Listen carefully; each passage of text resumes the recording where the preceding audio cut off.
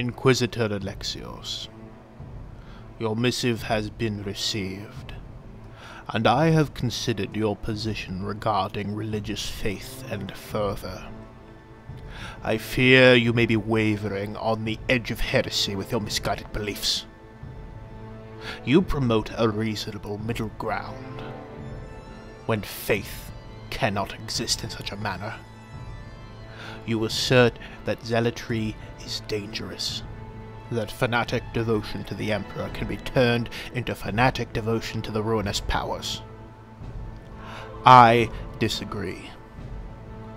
True untarnished faith is complete devotion to something that we do not and cannot completely understand. Those who turned away from the Emperor did not do so out of an excess of fervor. They did so because their minds were not set like steel. They were instead open. They were receptive to the temptations of the ruinous powers. Of course, one must recognize the corrupting forces of chaos and reject them at every turn. Our duties are to the Emperor and to mankind.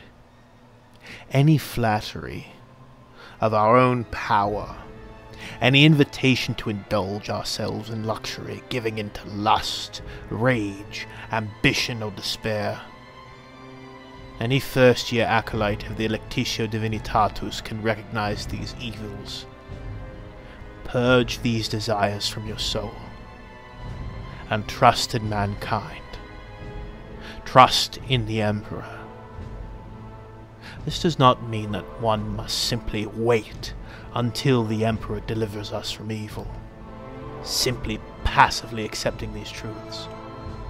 No, faith is a fire that burns within a man.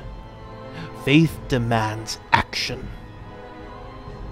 A keen mind, fueled by the fires of faith, and tempered with the steely resolve, cannot be denied, not even by the greatest enemies of humanity. So I urge you, turn away from your comfortable logic and reasonableness, and embrace repentance.